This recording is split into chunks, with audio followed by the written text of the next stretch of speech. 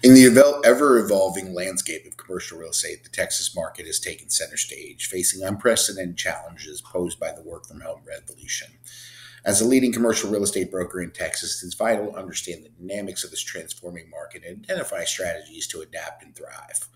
In this post, we're going to dive into the current state of office space in major Texas metros, analyze key statistics, and highlight innovative tactics to revitalize the office sector. It's evident that the office leasing market in Texas is experiencing an adjustment marked by increased direct space and sublease space availability.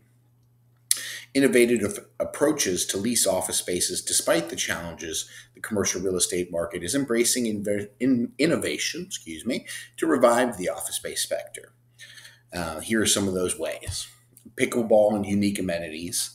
One unique, intriguing approach is uh, repurposing vacant office space to attract foot traffic. Speed to occupancy. In a rapidly changing landscape, speed is of essence, and the concept of hall selects streamlines customization, allowing tenants to choose curated finishes and furniture. Flexible and fluid spaces. Adaptable spaces are the future.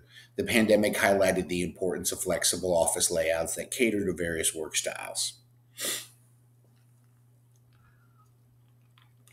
Abundant office space. The Texas Triangle boasts substantial square footage of office space across major cities, presenting ample opportunities for companies and entrepreneurs alike. Now we're defining the new normal. The pandemic's influence on office design underscores the importance of flexibility, private spaces, and fostering a sense of community. A harmonious balance between these elements can create an environment where employees are going to thrive. Also, innovative reuse. The changing office landscape invites innovative thinking. Repurposing office spaces for alternative uses, such as pickleball courts or mixed use projects, showcases creativity and attracts diverse audiences. The Texas commercial real estate market is navigating uncharted waters as it responds to the challenges of remote work and shifting tenant preferences.